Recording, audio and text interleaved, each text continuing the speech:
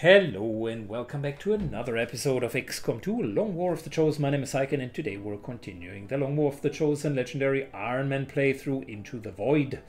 It is time for our East Africa mission Operation Perillia's Wheel because a couple of nasty, nasty uh, mm, spies in the form of faceless ones have infiltrated. So let's get rid of that and kill all of them.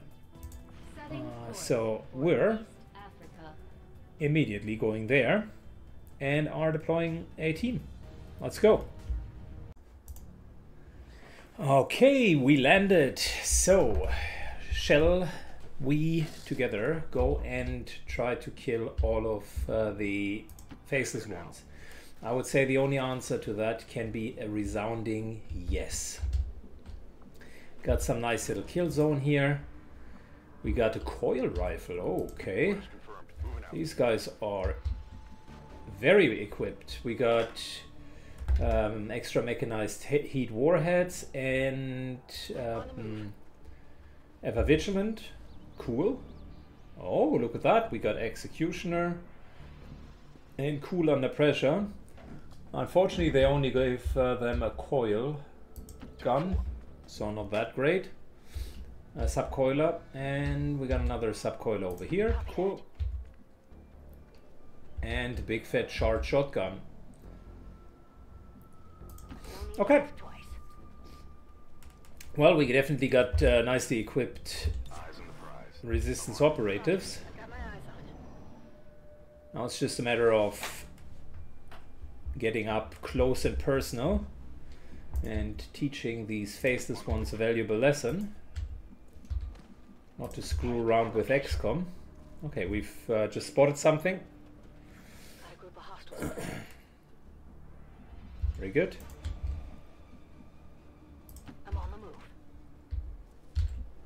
Arclight takes the high ground.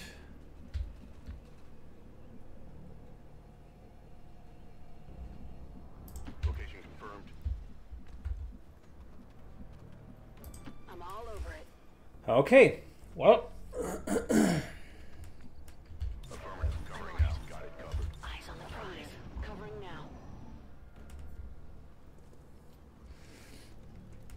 yeah, we should be able to get these guys down.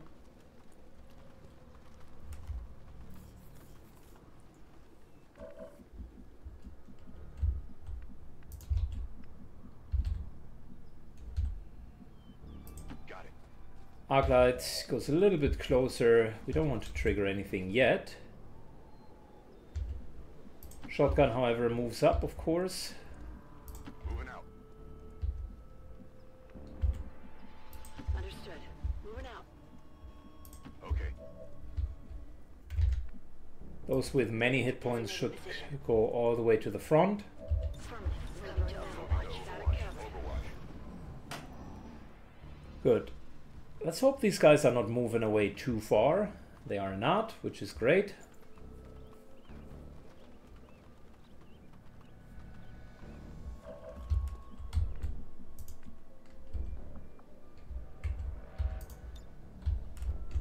Alright, kill zone does not um, reach that far. Affirmative. Moving out. But but we can fortify and kill the uh, zone from here. That's a good one. Nothing gets me as excited as a good kill zone. Stun Lancer, shotgun to the face. 12 points of damage, lovely.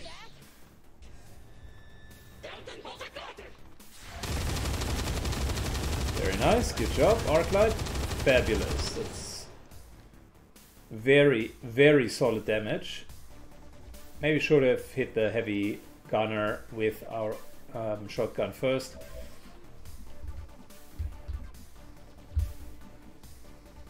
I should be out there hunting.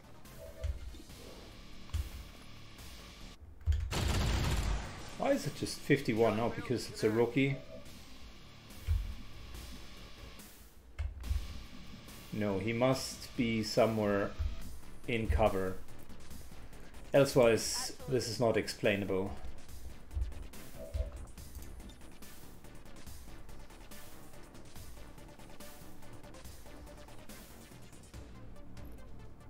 Yeah, he's behind that cover. Okay.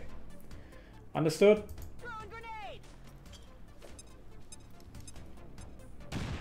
So it's a placement error.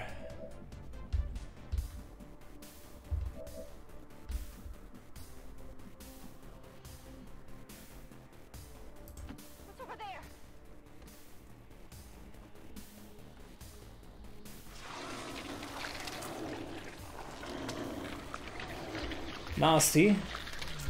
I was sort of expecting that we might run into something. Oh wow, two faceless ones. And Vipers, Viper Snipers. Yep, that's going to hurt. Luckily we do have a kill zone, so if they come closer, that's still going.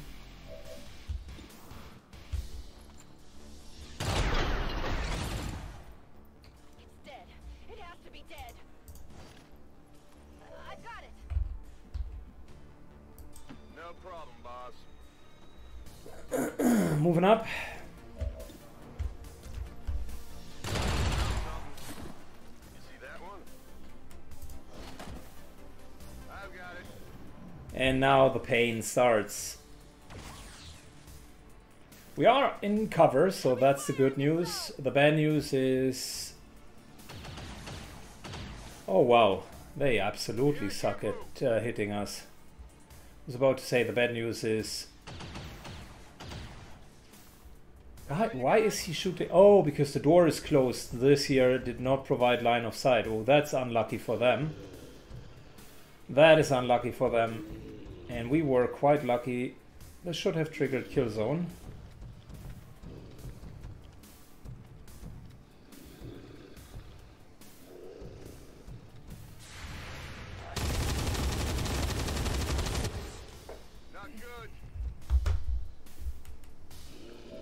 Oh, okay. Good, listen, we got Traverse Fire, which would allow us to take these guys down. The question then is how do we deal with the flank over there? Right? Shotgun is more efficient if we can act. ah, Okay, and we do have an Overwatch.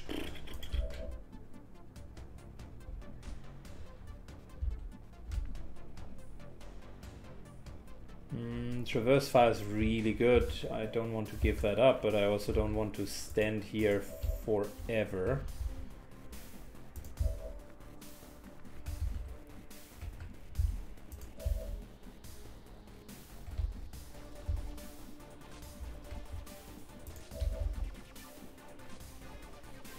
Moving slightly back, that should trigger the Overwatch. Uh, he has Guardian, I think, so there will be more Overwatches. No, he does not. Okay, we're lucky.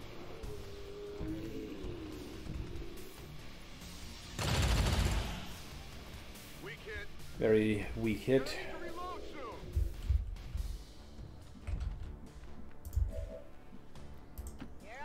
Moving over with a shotgun.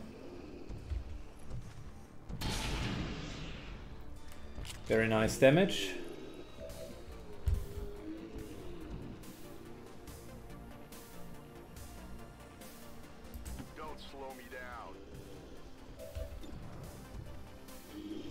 That's an actual rifle. I would not use that. We instead use the Mag rifle.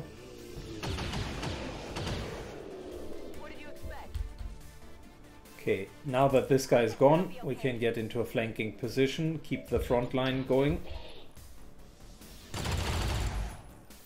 Ah, almost got the scout, almost, but almost is not quite getting it.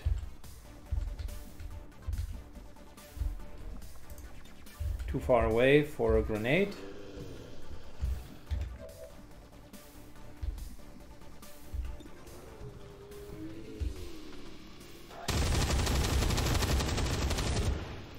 That's one hit. Running dry on ammo.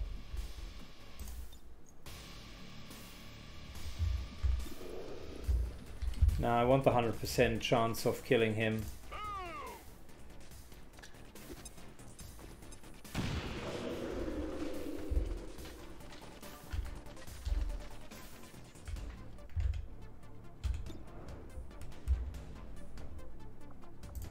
Free reload.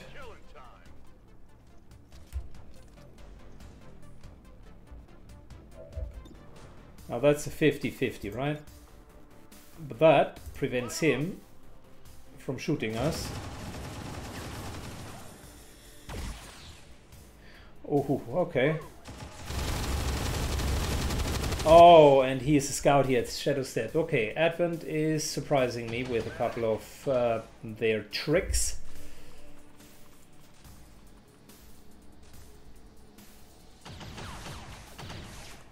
With a couple of their tricks.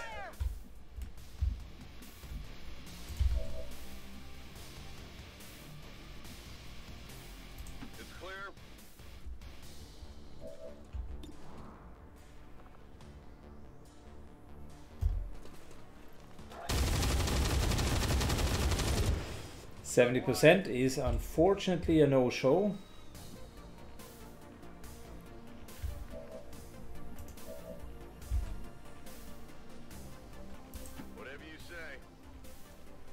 Subcoiler into flanking position. 80% is a no-show. Should have used the grenade there.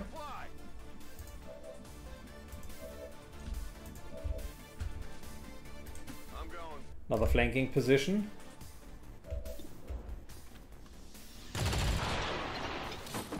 This time with a nice little crit.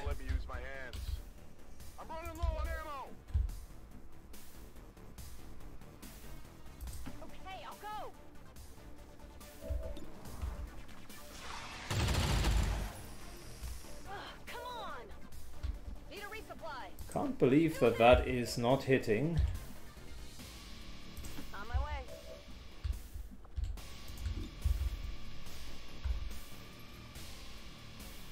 That car might explode.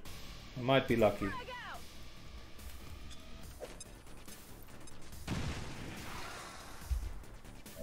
Nope, does not explode, but we can make it difficult for them to hit.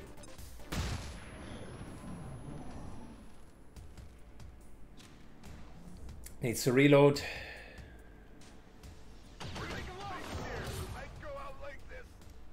Well, that was unfortunate. Full cover.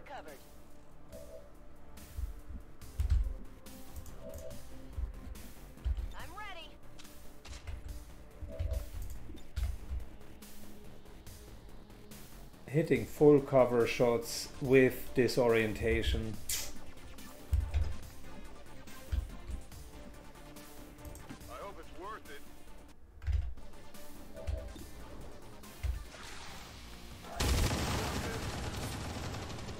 Good. Sniper is gone, finally.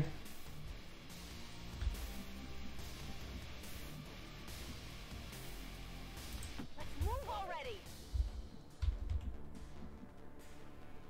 Seems We're almost in a position to flank this guy. Heading.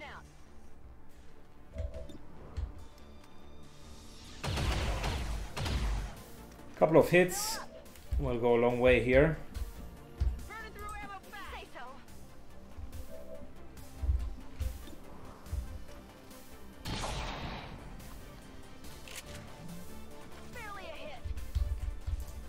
And we keep him flashbang. Didn't really work that well last turn.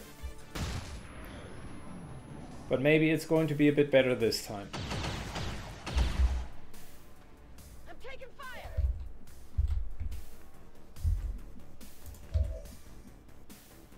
I'm trusting you here. Full cover. Open the door. And teach him a lesson. Good. Could that have been played cleaner? Oh yeah, absolutely. We acceptable is potentially the right word for that. We lost two uh, faceless one, or we cleaned out two faceless ones, and we lost one operative. That's minus three. The lost operative hurts a bit.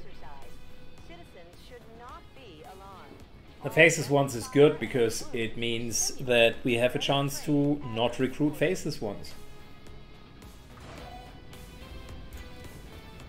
and having Haven Advisors that can actually deal a lot of damage is godsend.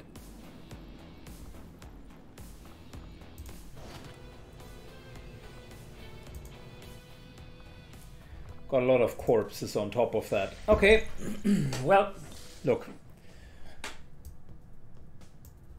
We still have five left over and we're continuing to recruit. Uh, that's the best we can do. Is it great? No, but we had eight with two faceless ones, an and that wasn't great either. We just did not know about it. good, we got a, uh, a real good sniper now. Referred to by our troop. Refraction field is good, and acid grenades are actually not bad. because acid grenades allow you to very effectively shred. Now we got uh, the storm gun, which is the last weapon that we need. The last of the plasma weapons, that is.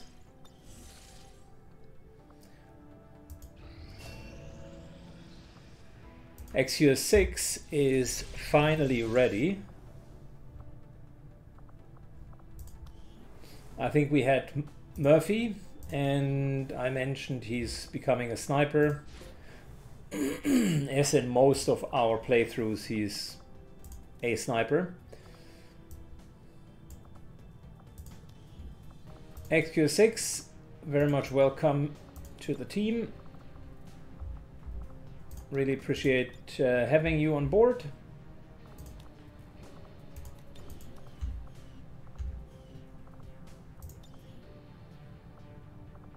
Body shield would be cool. Emergency life support isn't bad for him. But I think we're just going with advanced defense. Or Combat Rush is not bad either, but let's go with advanced defense so that he's more difficult to hit.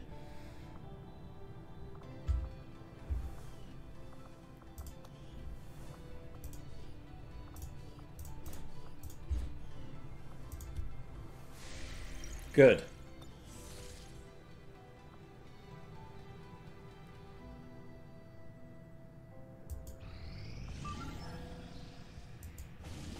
Got a new target for an engineer. That's not bad. Seven days. I like it. Setting course for Sector 4, Chile. We got 10 engineers, and 11's one wouldn't hurt. We need them uh, for the liberated areas. Iron Hands can very much do that. Let me equip them and upgrade just a bit of the equipment. Okay, there wasn't much upgrading to do simply because I don't have the funds to give everybody really good guns, so magnetic for them must be good enough.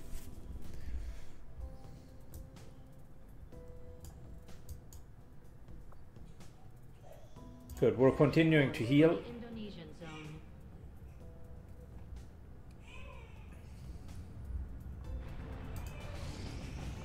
And now all of the missions are coming. Uh, ambush, that's a fantastic mission, and the Berserker Queen is there, which is another great um, reason to get there.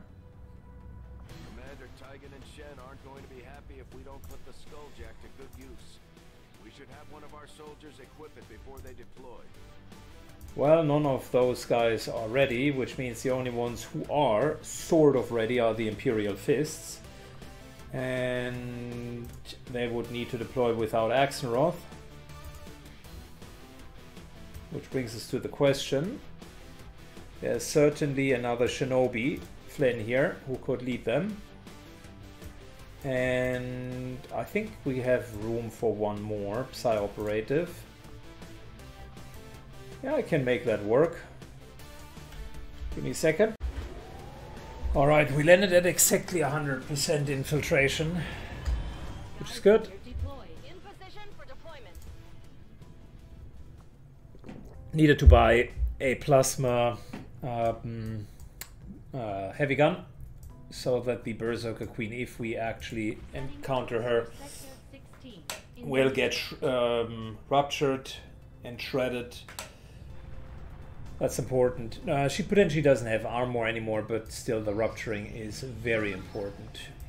And finally, all of the missions are coming in. Another engineer uh, liberation mission down here. Cannot not do that. That's an important one. And for the first time, Luckily, we're actually seeing that we're being very light on our troops.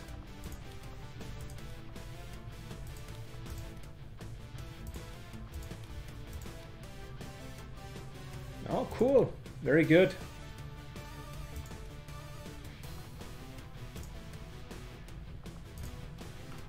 So let's see what who we can master. We still got a couple of, I would call them free agents.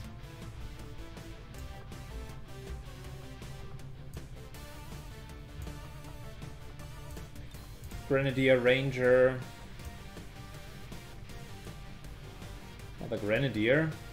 And another Grenadier. That's going to be the Grenadier squad.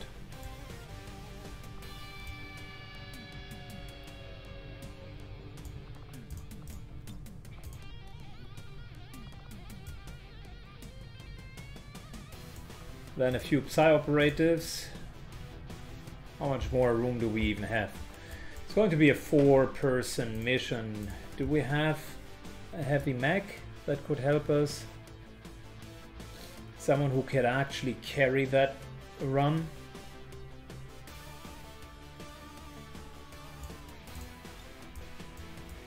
Good, so uh, what are we fighting? 15 enemies with 4 people.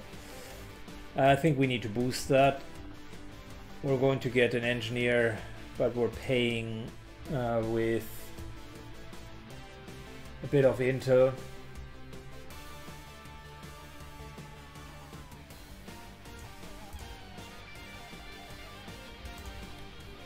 Can that be a six person mission is the question.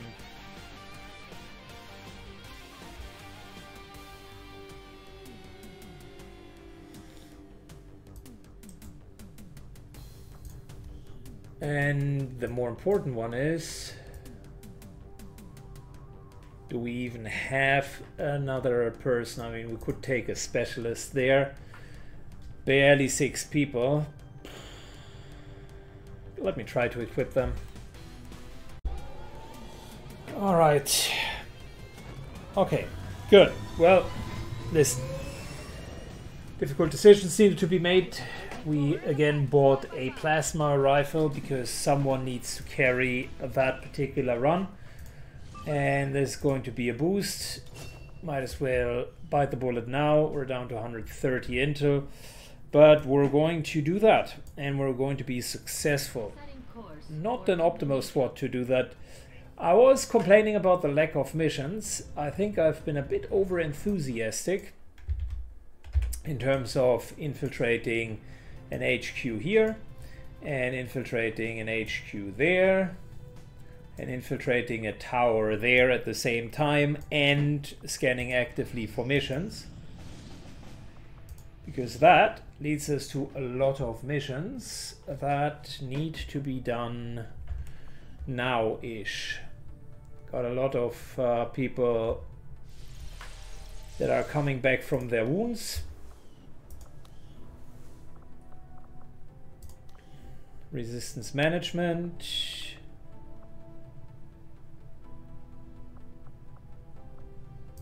West Asia finally gets a bit more recruits. Very nice.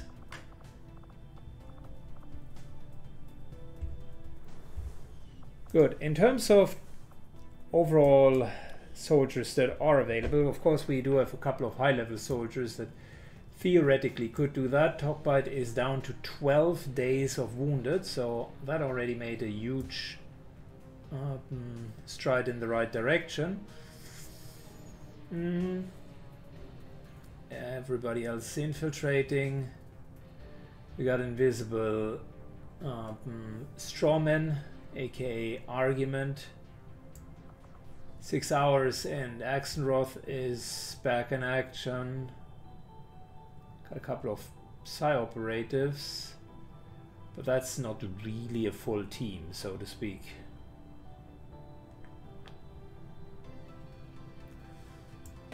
Which brings us to the SWATs. Everybody is already on a mission.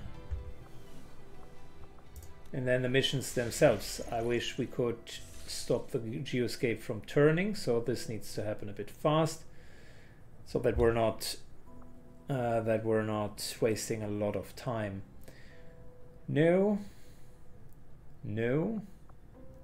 No. No.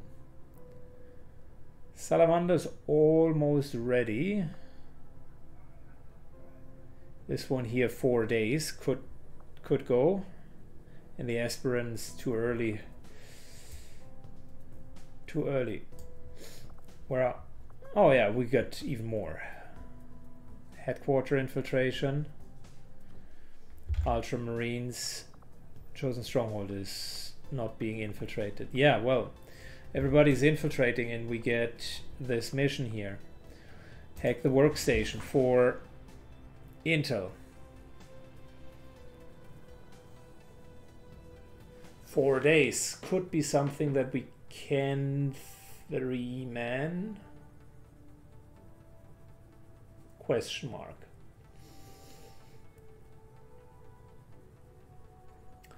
Still a lot of baseline activity for four days. Four days isn't perfect. That would mean we need to spend intel in order to gain intel. Um, yeah, I think we will need to pass on that. Mainly, not because I don't have soldiers available. We could potentially get that one going, but I don't see that this is uh, going to be done in a reasonable time. Just got it a little bit too late. Axenroth uh, got his training, which is good. Let's just double check. There's not a lot of potential trainees there.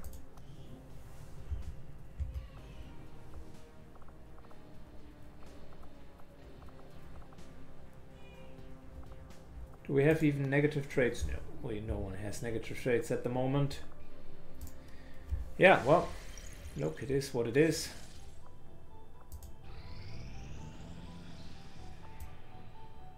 Something just got to 100%. Alright, the salamander's down here. And that will be our next mission. Let's do that now so that the salamanders are free. Uh, uh, Chrysalid infiltrators are certainly not optimal, but we could do that mission. Salamanders are free, and then they can take basically whatever else is going to come up. Which naturally brings us uh, to the end of today's episode. Although, let me just double check really quickly. Nah, we're already up for half an hour. It was a short mission, but a lot of uh, management.